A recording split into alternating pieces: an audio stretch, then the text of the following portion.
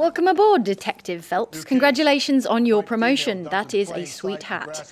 You made quite the impression on the beat, but now you've moved up to the big leagues. There's a few things you need to know to make it in this town. The first rule of police work is make no assumptions until you've seen the evidence.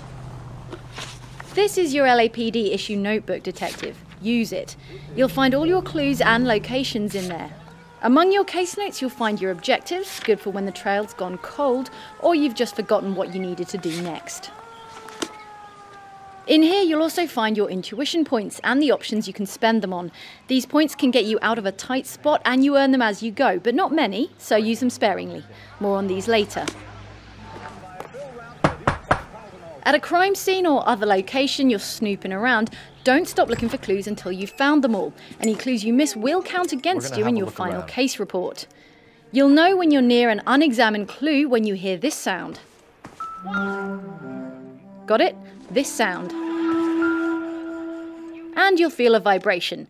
That's your detective sense tingling, Phelps. Don't ignore it. You can use an intuition point to reveal all the clues in a location, but you shouldn't have to.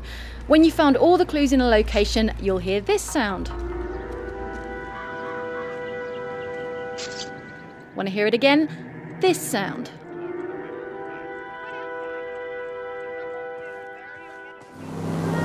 was a woman. There's a note here on your file, Detective Phelps. It says, despite your fine record here with the department, you have been known to drive, quote, like a maniac. Oh, come on! Well, that just won't do.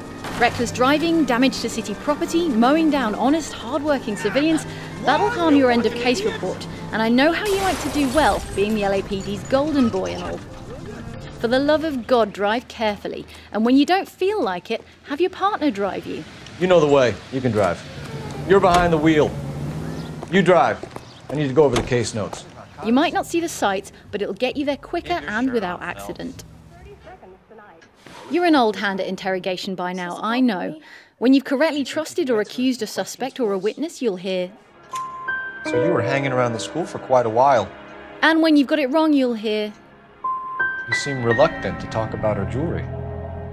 But how to tell whether they're playing it straight or holding out on you? It's all in the eyes. Well, mostly in the eyes. If they can't hold your gaze, your steely, steely gaze, then something's up.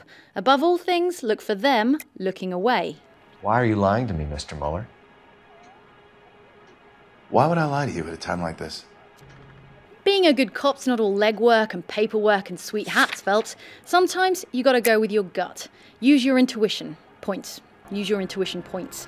If you're having a hard time reading a witness or a suspect, you can spend one of those hard earned intuition points to remove a wrong answer from your options.